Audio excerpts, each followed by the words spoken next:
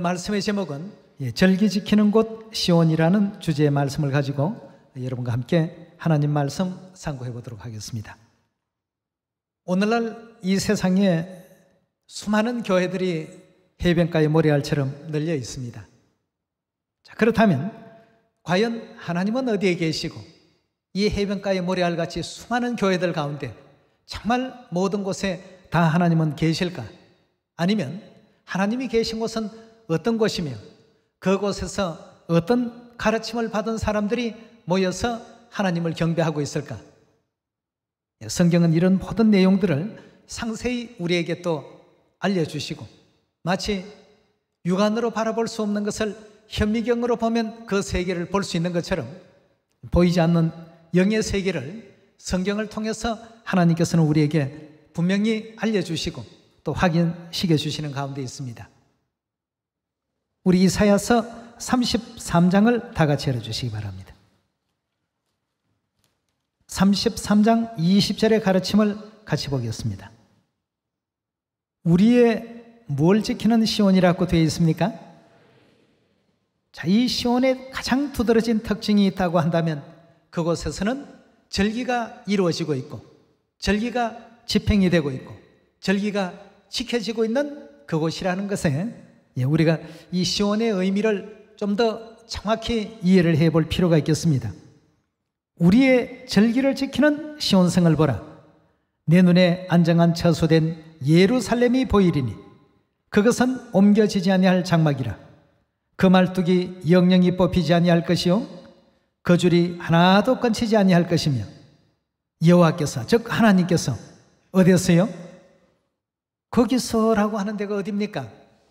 바로 우리 이사야 33장 20절에서 주신 말씀의 내용을 그대로 연결지어서 바라보게 될 때 시온에서 위험 중에 누구와요? 우리와 함께 계시겠다 구했습니다. 그럼 여기서 말하는 우리라는 이 무리는 뭘 지키는 무리입니까? 절기를 지키는 백성들이죠. 절기 지키는 그 곳에서 누가 또 함께 하신다고 했습니까? 하나님께서.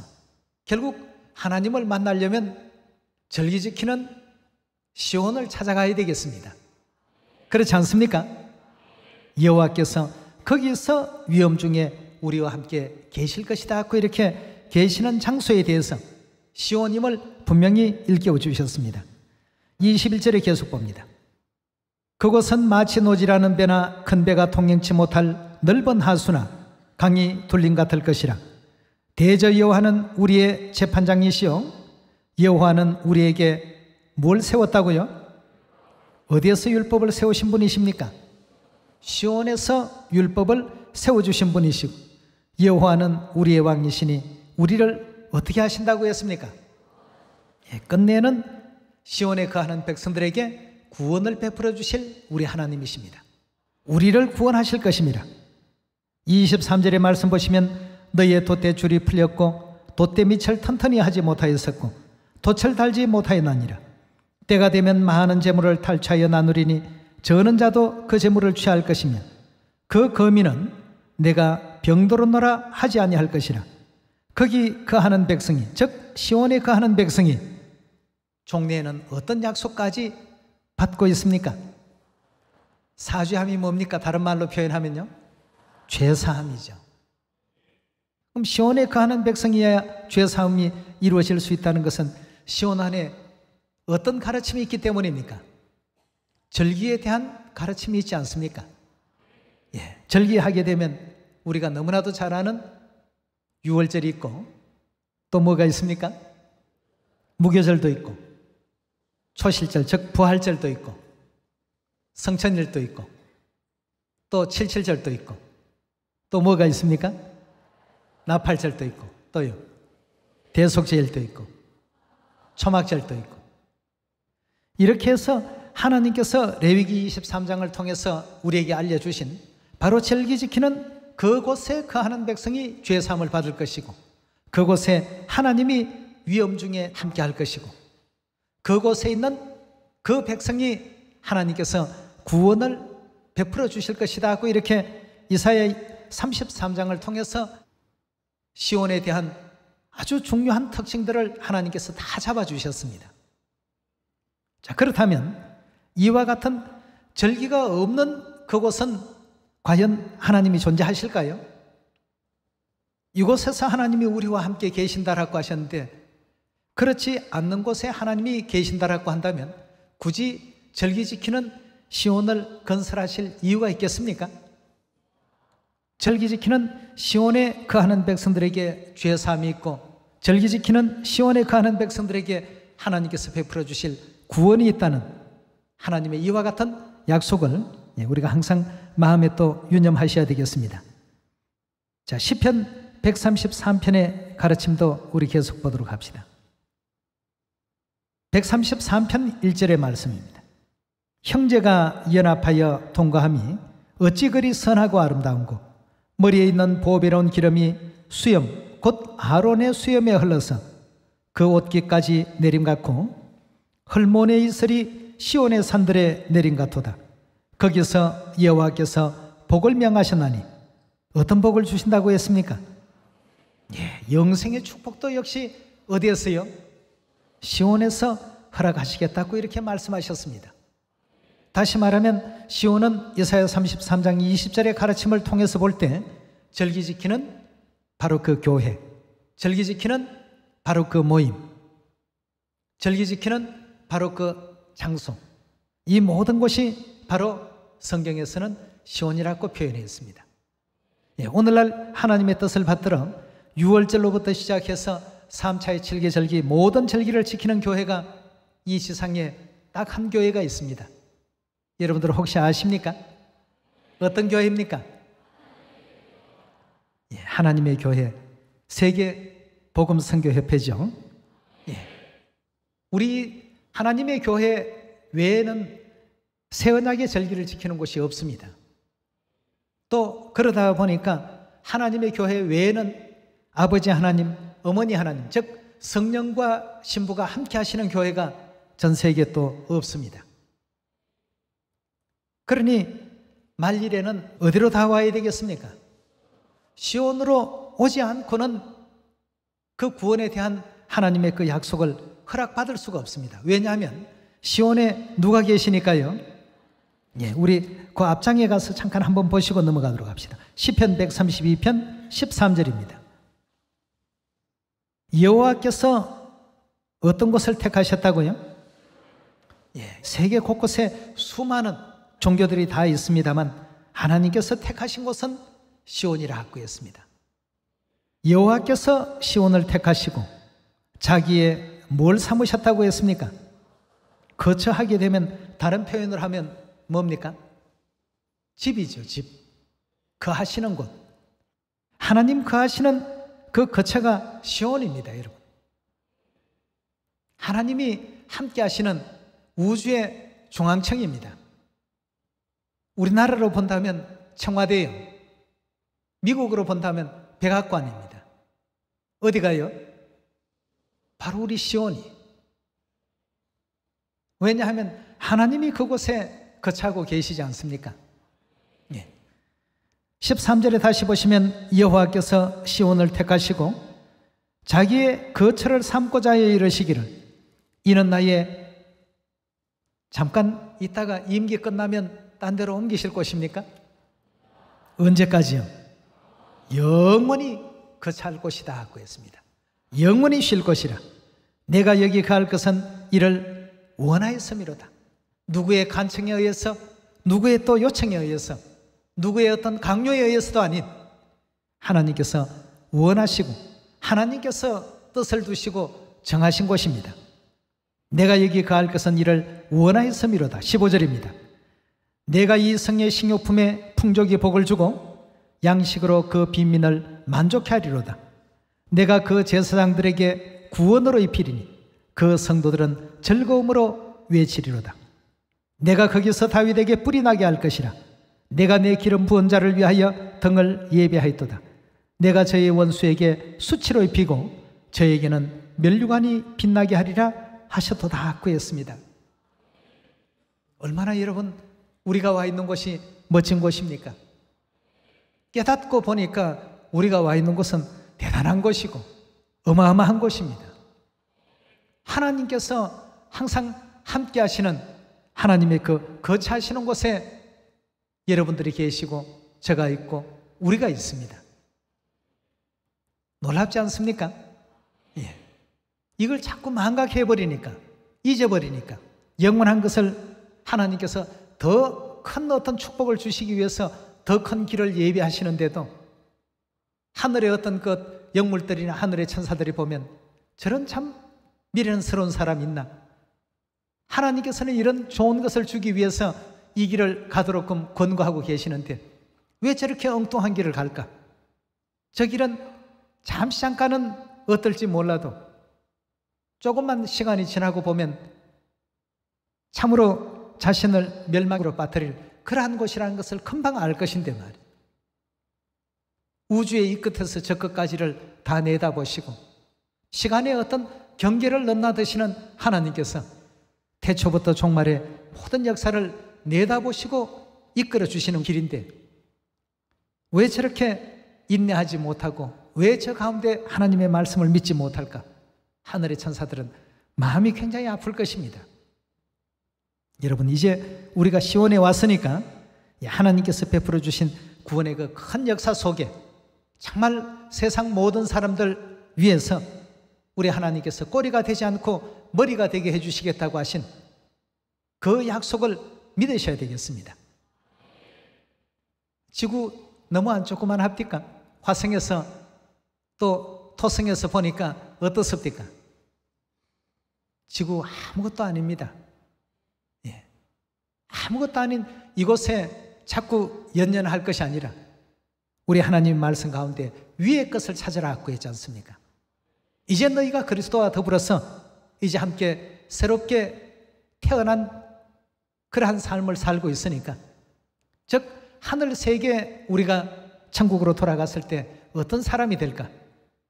하늘나라에 돌아가서 어떤 큰 축복을 받고 상급을 받을까? 하나님 주실 그 은혜를 생각하면서 위에 있는 표들을 향해서 달려야 된다는 것이죠. 예. 그저 이 땅에서 네가 앞섰느냐 내가 앞섰느냐 하고 도토리 기재기 하는 식으로 하지 말고 아브라함 같이 큰 마음으로 그래 너가 우아하면 나는 좌할 것이다. 너가 좌하면 나는 우아할 것이다.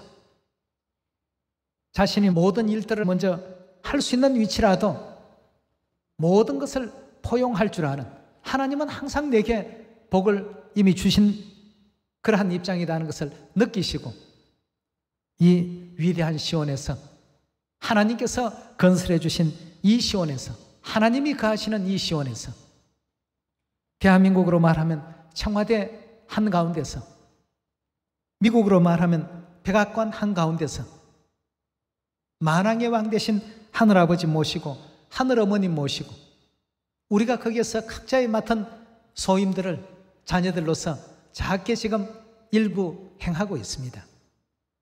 올해 70억 인류 인생들에게 다 이 소식을 알리고 오라고 하셨습니다. 필리핀도 가보니까 열심히 알리고 있고 아프리카도 가보니까 열심히 또 알리고 있습니다. 우리 대한민국도 물론 열심히 알릴 것이고 전 세계가 지금 다 열심히 알리고 있습니다. 시온으로 그들이 돌아와야만 그들이 종래에는 구원을 받을 수 있다라는 사실을 온 세계가 느끼게 될 날들이 반드시 오게 되어 있습니다. 이 시온에 대한 이 자부심과 이 긍지를 잃어버리지 마시고 시온 안에 있다는 그 자체만으로도 세상이 다 부러워할 것이다 하는 것을 믿고 확신해 주시길 바랍니다. 예레미야서 우리 4장을 보도록 합시다. 4장 5절의 말씀 계속 봅니다. 너희는 유다에 선포하며 예루살렘에 공파에 이르기를 이 땅에서 나팔을 불라 하며 또 크게 외쳐 이르기를 너희는 어떻게 하라고요? 모이라고 했습니다. 너희는 모이라. 모이라고 할 때는 모여야 할 장소가 있어야 되겠죠. 어떤 장소도 없이 막연히 모이라 하면 어디로 모여야 될지 또 어떻게 모여야 될지 우왕좌왕할 수밖에 없을 것인데 예, 우리 하나님은 질서의 하나님이십니다. 분명히 모여야 될 것을 일러주십니다. 너희는 모이라. 우리가 견관성으로 들어가자 하고 6절입니다. 시온을 향하여 기호를 세우라. 도피하라. 지체하지 말라. 자, 하나님께서 어디로 지금 들어가라고 하십니까? 시온으로 들어가는데 어떻게 하라고요? 지체하지 말고 신속히 그리로 들어가라고 이렇게 일깨워주고 계십니다. 자, 우리에게 허락된 모든 절기는 말 그대로 특권입니다. 이 지구도 여러분 우주의 한 부분입니다.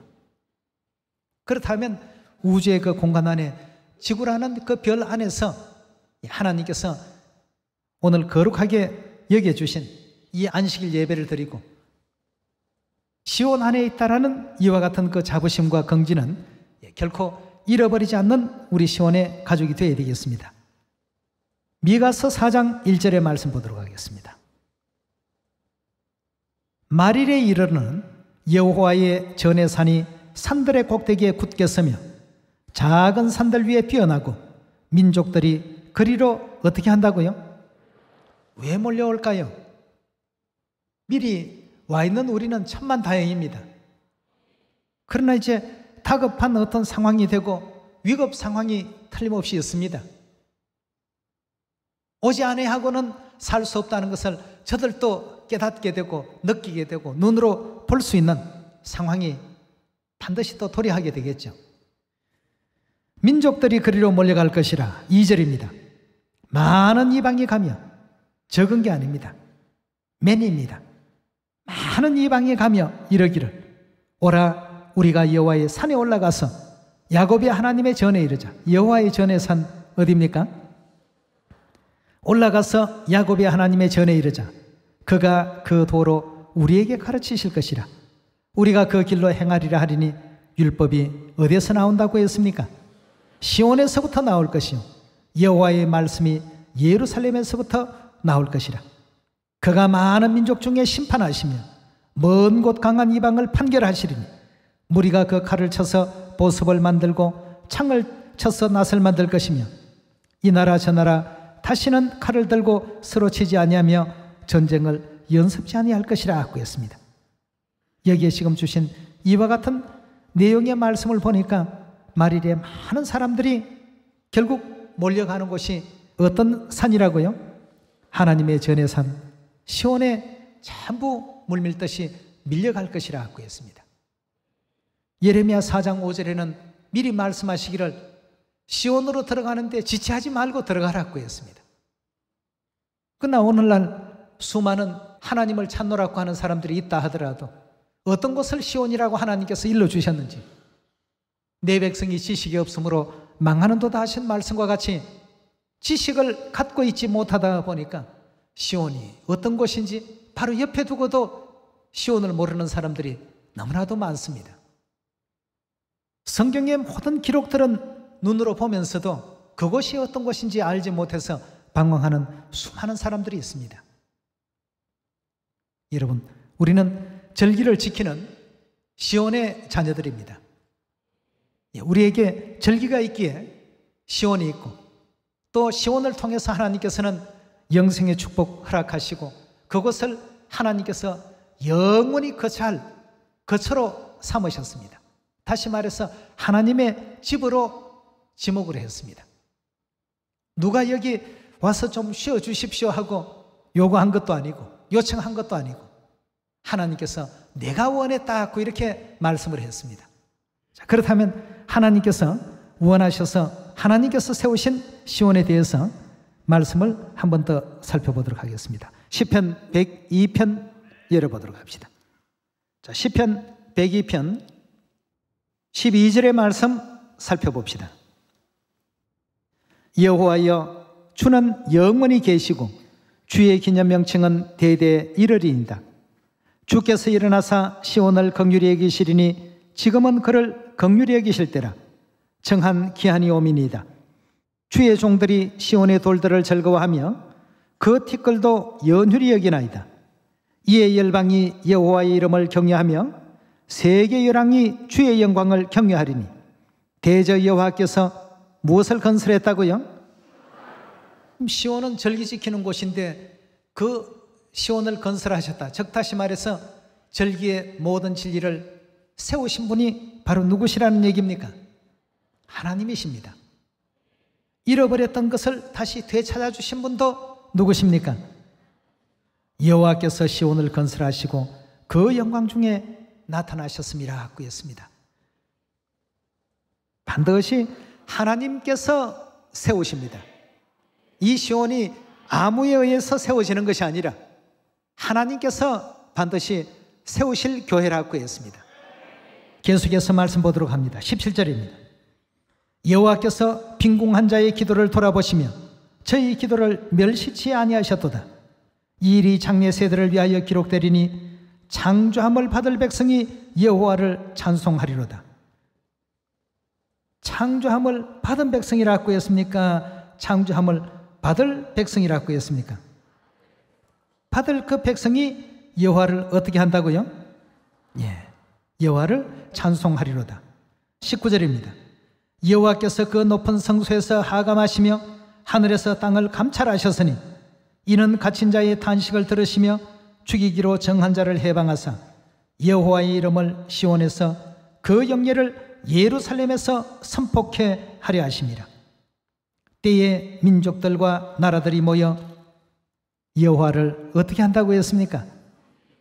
예, 하나님을 섬기게 되는 그런 날들이 반드시 어디였어요?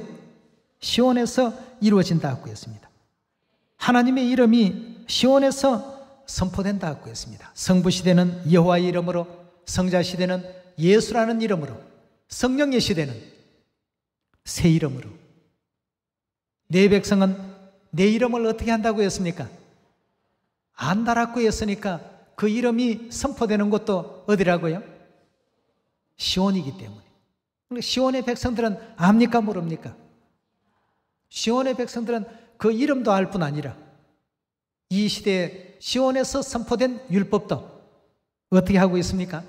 다 받아들이고 이해할 수 있지 않습니까? 오늘 이 시온을 건설해 주시고 또 시온의 주인이 되어 주시고 시온에서 영원히 거하신다고 하시면서 우리 자녀들에게 잃어버렸던 3차의 7개 절기 모든 진리를 회복해 주신 거룩하신 하늘아버지 하늘어머니께 마음을 다해서 영광과 감사를 드려야 되겠습니다. 그리고 우리는 우주의 지금 가장 중심에 지금 있다라고 봐도 과언이 아닙니다. 누구와 함께 계시니까? 어디에서요? 아버지도 모시고 계시고 어머니 하나님도 모시고 계시고 항상 함께하고 있지 않습니까? 다른 어떤 지구를 떠나야 우주 세계를 맛볼 수 있는 것처럼 느낍니다만 실상 우리가 우주의 한가운데 지금 살고 있어요. 화성에서 지구 보니까 지구가 매달려 있는데 눈에 보입니까? 예. 그런 곳에 우리가 지금 살고 있습니다. 그리하여도 예, 우리 하나님께서는 우리에게 관심을 두어 주시고 마음을 또 써주시고 우리 자녀들을 구원하기 위해서 6천년이라는 긴 세월 동안의 구원의 모든 그 계획을 또 세우시고 거룩하신 보혈을 흘려주시고 거룩하신 성체가 찢기움을 당하시면서 오늘날 하늘 어머니를 우리 자녀들에게 나타내시고 생명의 근본이 바로 하늘 어머니께 있다는 사실을 우리 자녀들에게 전부 일깨움 주지 않았습니까? 이런 모든 의미가 다 절기 속에 담겨 있습니다. 이런 거룩하고 위대한 절기를 통해서 우리가 거처하는 곳이 어떤 곳인가를 다시 한 번 더 확신하시고 이런 절기를 세워주신 분이 바로 하나님이심을 다시 한 번 확인하시고 또 그런 절기 지키는 시온이 하나님의 거처하시는 거룩한 하나님의 집이라는 사실도 확신해 주시고 사단 마귀들의 간악하고 간교한 회방 속에서도 이 시온을 잃어버리지 않는 여러분과 제가 꼭 되시기를 부탁드리겠습니다. 예. 이사야 51장 3절의 말씀 보겠습니다. 대전나 여호와가 시온을 위로하되 그 모든 황폐한 곳을 위로하여 그 광야로 에덴 같고 그 사막으로 여호와의 동산과 캬에나니 그 가운데 기뻐함과 즐거워함과 감사함과 창화하는 소리가 있으리라. 내 백성이여 내게 주의하라. 내 나라여 내게 귀를 기울이라. 이는 율법이 어디서부터요? 내게로부터 발할 것입니다. 내가 내 공의를 만민의 빛으로 세우리라 하고 했습니다. 결국 이제 시온을 하나님께서 세우시고 시온에서 뭘 하시는 장면입니까? 예, 하나님의 율법을 선포하시는 장면이죠. 7절의 말씀 넘어갑시다. 의를 하는 자들아 마음에 내 율법이 있는 백성들아 하나님께서 선포해 주신 그 율법을 마음에 새기고 있는 자들은 전부 하나님의 의를 아는 자들이라고 되어 있습니다. 의를 아는 자들아 마음에 내 율법이 있는 백성들아 너희는 나를 듣고 사람의 회방을 두려워 말라. 사람들이 너희에 대해서 야 너희 그 시온 이상한 데 아니냐라고 조롱하고 회방을 하더라도 절대 두려워하지 말라. 사람의 비방에 놀라지 말라. 이미 하나님은 2700년 전부터 이사야 선지자를 통해서 시온에 거하는 백성들이 회방과 비방에 노출되어 있을 것을 분명히 알고 계셨습니다. 그러니 위로도 어떤 위로를 주십니까? 사람의 회방을 두려워 말라. 사람의 비방에 놀라지 말라. 그들은 옷같이 좀에게 먹힐 것이며 그들은 양털같이 벌레에게 먹힐 것이로되 나의 의는 영원히 있겠고 나의 구원은 언제까지 미친다고요? 세세 미치리라 하고 했습니다. 자 그렇게 하시고 구절의 말씀 계속 봅니다. 여호와의 팔이여 깨소서 깨소서 능력을 베푸소서 옛날 예시대에 깨신 것 같이 하소서 라합을 점이시고 용을 찌르시니가 어찌 주가 아니시며 바다를 넓고 깊은 물을 말리시고 바다 깊은 곳에 길을 내어 구속 얻은 자들로 건너게 하시니가 어찌 주가 아니시니까 여호와께 구속된 자들이 돌아와서 노래하며 어디로 들어온다고 했습니까? 예, 결국 구원받은 자들이 들어오는 곳은 시온입니다. 시온으로 들어와서 그 머리 위에 영영한 기쁨을 쓰고 즐거움과 기쁨을 얻으리니 슬픔과 탄식이 어찌 됩니까? 달아날 것이다 하고 했습니다. 여러분 이런 곳이 바로 우리 시온입니다.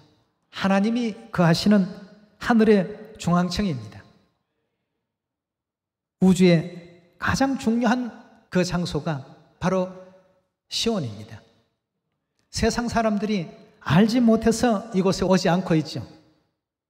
알기만 한다면 오늘의 이 자리가 어찌 우리들이 차지할 수 있는 자리가 될 수 있겠습니까? 우리에게 이런 시온을 깨닫게 해주시고 또 우리에게 거룩하고 위대한 절기를 허락해 주셔서 하늘아버지, 하늘어머니를 경외할 줄 알고 또 영접할 줄 알고 깨달을 수 있는 그런 길로 이끌어 주신 하늘아버지께 무한한 감사와 존귀와 영광을 또 돌려야 되겠습니다. 예, 우리 계속해서 한 말씀만 더 보시고 마치도록 하겠습니다. 이사야서 52장의 말씀 보도록 하겠습니다. 7절의 말씀 보시면 좋은 소식을 가져오며 평화를 공포하며 복된 좋은 소식을 가져오며 구원을 공포하며 시온을 향하여 이르기를 누가 통치하신다고 했습니까? 절기 지키는 우리 하나님의 교회는 하나님께서 이끄시고 다스리시고 통치하시는 바로 그런 곳입니다. 시온을 향하여 이르기를 내 하나님이 통치하신다 하는 자의 산을 넘는 발이 어찌 그리 아름다운고 들을 지어다 너의 파수꾼들의 소리로다 그들이 소리를 높여 일제히 노래하니 이는 여호와께서 시온으로 돌아오실 때 그들의 눈이 어떻게 해요? 마주 보더라 하고 했습니다. 예, 하나님과 마주 볼 수 있는 예, 그런 아주 은혜로운 곳이 바로 시온이라고 했죠. 구절의 말씀 계속 보시면 너 예루살렘의 황폐한 곳들아 기쁜 소리를 발하여 함께 노래할지어다.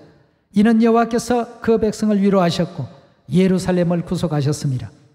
여호와께서 열방의 목전에서 그 거룩한 팔을 나타내셨으므로 모든 땅 끝까지도 우리 하나님의 구원을 보았도다 하고 했습니다. 여러분 이런 은혜롭고 아름다운 시온에 하나님께서 우리를 불러주시고 또 자녀 삼아주시고 거룩하신 살과 피를 우리 자녀들에게 먹고 마실 수 있도록 허락해 주셔서 하나님의 자녀로 인쳐주시고 인정해 놓으신 곳이 바로 이 시온입니다. 예. 우리는 참으로 우주의 한 중심에서 가장 위대하신 하나님을 모시고 또 하나님을 가까이 하면서 눈과 눈이 마주 볼 수 있는 이와 같은 위치에 있다는 것 쉽지 않은 일입니다. 예.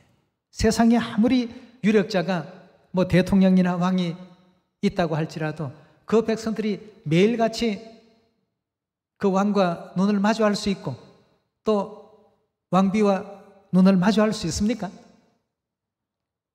하나님께서 이처럼 시온을 다스려 주시고 이끌어 주시고 지도해 주시고 하나님께서 친히 세워 주시고 죄 사함 주시고 구원 주시고 영생 축복 주시고 우리 영원한 천국 본향으로 이제 속히 돌아가서 물론 이 땅에서 우리가 살아가는 과정 과정 속에는 조그만한 어떤 장애물이나 어려움 이런 어떤 시련들은 누구에게나 있습니다.